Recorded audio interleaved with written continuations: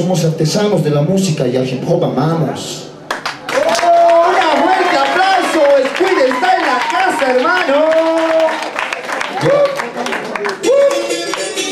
Sí, quiero que me ayuden a ver, a rapear ese tema. Arriba la mano. Mm, En definitiva, ese es un punto muy lindo, que lo sabemos todos los que estamos en el escenario, pues el rap es una terapia para nosotros. El rap es mm, cualquier, cualquier medicina, no se compara con lo que es el, subir al escenario, el prepararse para un concierto, el hacer un disco, el estar todo el día metido en tus textos, el estar pensando en tus producciones, el dirigir las producciones. Ahí nace la autogestión, ahí nace la autodeterminación, entonces, en este mundo, hermano, en el que nos esclavizan, nos hacen sentir eh, parte de una colectividad de masas sin nombres, donde todos tenemos que seguir lo que dice un mandamás, nace la autogestión y la resistencia, que es lo que tú practicas con tu hip hop, con tu rap. Algo que debería toda la juventud y toda la humanidad tener, una resistencia de palabra, de opinión, de liderazgo.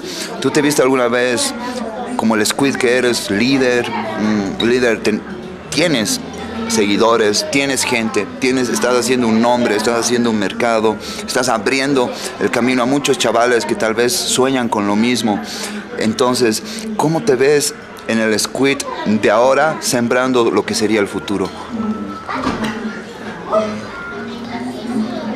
Lo del pasado era muy diferente, no lo hacía tanto como ahora con tanta pasión, tanta inspiración, tanto trabajo.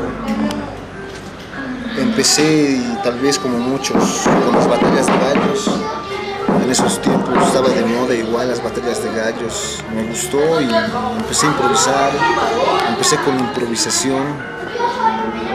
Sentía que no me llenaba solamente improvisar, quería eh, plasmar mis letras, desnudarme en un papel.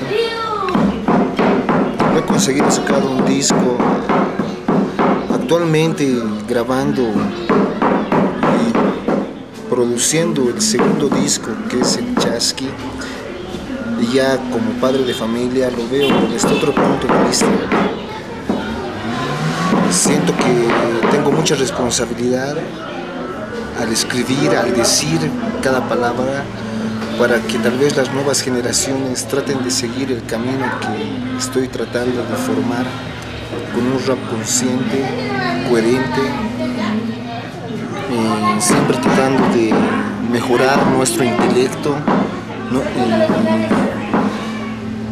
teniendo lectura, estudiando, practicando, haciendo hip hop comunidad, no solamente haciendo rap, encerrarse en su casa, improvisar, improvisar frente a un espejo, hacer hip hop, conocer varias personas, conocer varios puntos de vista de diferentes MCs, diferentes grafiteros, DJs.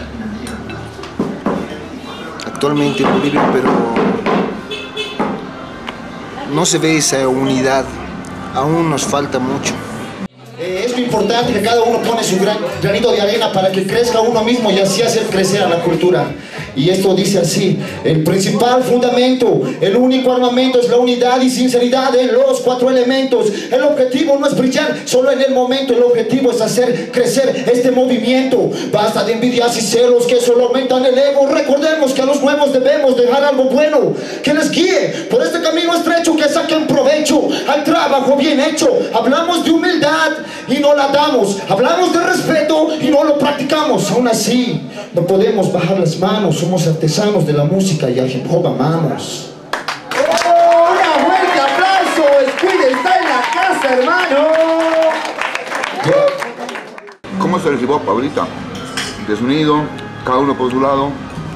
¿Cómo lo ves?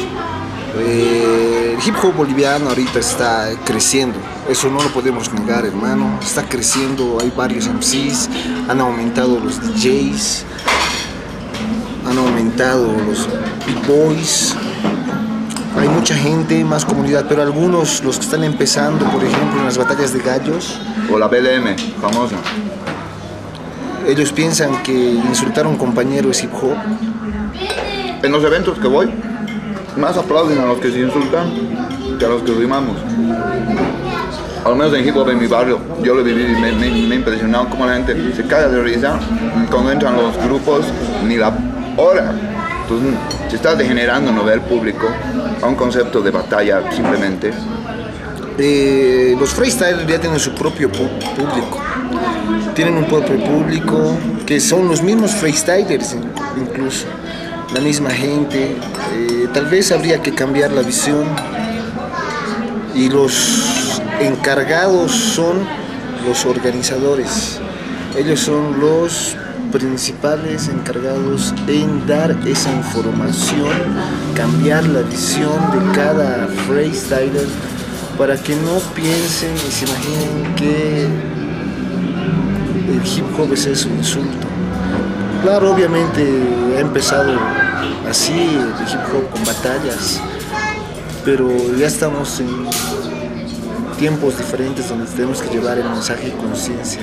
Tenemos que hacer, dar de cuenta a la población que el hip hop es mucho más, mucho más de lo que ellos piensan. Me gusta amanecer con vista al murreta y a Chacaltaya, desayunar con marraqueta, el pan de batalla, almorzar con liajo hecho en batán y con huacataya, mientras me río de los chistes del comediante David Santalla. Me gustan los taquipayas, los carcas, Luzmina Carpio, música con acopio, me gusta lo propio, lo digo con gran elogio, pintar mi vida con los colores del artista Mamani Mamani. Me gusta la pista panorámica del imponente Ichimani, me gusta Tembladerani aunque sea un barrio sombrío. Voy a resistir los golpes como Jennifer Salinas, soportar el clima, el calor, el viento, la lluvia y el frío. Me gusta ver la sonrisa de las mujeres andinas, me gusta el té con té y sucumbé en las verbenas, sacar mi pañuelo blanco y bailar la cueca chapaca. Me gusta amanecer con el sonido de las quenas y me gusta que mi casera me dé el fresco de quizá con yapa. Me gusta el aculico y me preguntas por qué pichas. La respuesta es muy sencilla si me enseñaron a me gusta viajar, conocer, aprender, componer. Me gustaría bailar tinco en la entrada del gran poder. Joder, me disgusta el transporte, el servicio está muy mal. Me gustaba la cebra antes que se vuelva guardia municipal. Me gusta sentarme en la tierra y disfrutar de una tapi. Me gusta comer fricasé cuando estoy de chaki. Me gusta hacer tantaguaguas en los Todos Santos. No me gusta Halloween ni sus casas de espantos. Me gusta mi folclore y no me gusta que mi selección nos decepcione.